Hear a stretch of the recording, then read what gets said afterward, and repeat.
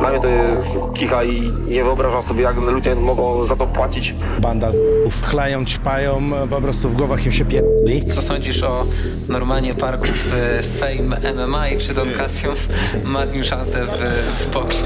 Nie no, to śmiech na sali, no co mam ci powiedzieć, no. Połowa ludzi to tam są, są takie debile, którzy nawet nie będę mówił tam nazwiskami.